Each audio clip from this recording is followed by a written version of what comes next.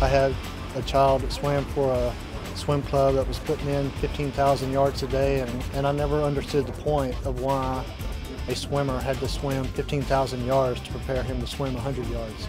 The fun's almost sucked out of swimming because the, the high yardage, they grind the athletes, the athletes tired all the time, they want to sleep but they can't sleep because they got to go swim at 4 in the morning. I mean, it's just, it's, it's crazy. Uh, practicing slow swimming does not make a fast swimmer. So much dogma in swimming that it's so hard for people to break away from it. And we knew that there had to be a better way of doing that. And I mean, obviously, I, I didn't think, well, you could just train like this, you know, and do it until we met Doc. So it was really easy for me to say, okay, I get it. Once we started training like this, I mean, our times I mean, improved drastically.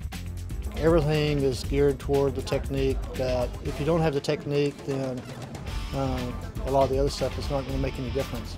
I believe your overuse injuries are going to go away. You know, as long as you're still obviously concentrating on technique, because you know if you swim properly, you save your joints.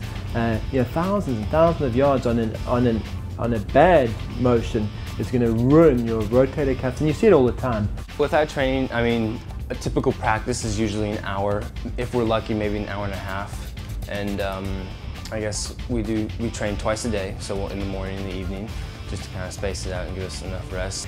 He can go to a meet and he swims the best time almost every time he goes to a meet. We don't have to wait the whole season to try and swim the best at the end and hope that it happens. You know, we don't need to taper because he's not he's not fatigued.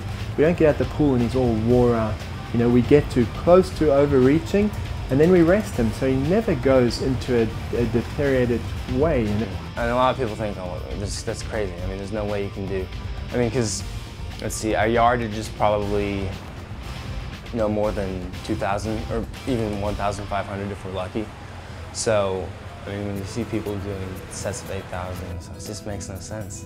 And I mean, a lot of people will think this makes no sense, but I mean, it's been proven and it's scientifically backed up, so.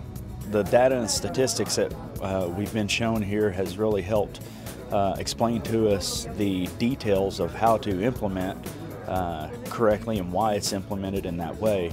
But the basic fundamental of, yeah, you don't practice to run a marathon in order to run a sprint is some, like I said, it's the reason why we started our club. Ever since we started training, we've been breaking national records. More consistently, we've been, I mean, closer at times every single meet.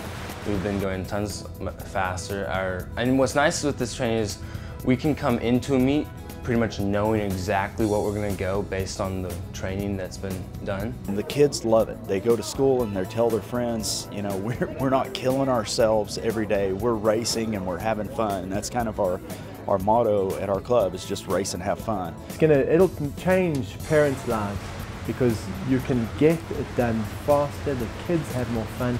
I mean, and that's what we really want to do. We want to be enjoying the sport and having fun with it. We also have learned that we were on the right track, but we didn't really know how to go about doing it. Well, we had been in the process of implementing the uh, this type of swimming into our group. Uh, it was very encouraging that we're in the ballpark. We just needed a little bit of uh, direction of how to set the program up and implementing it if you need to know how to implement that and in what way you can lower that yardage down and let the kids have fun, let them see improvement in a very quick time. Uh, in this age of instant gratification, uh, this is the program to use to do that. You don't have to try to figure it out on your own.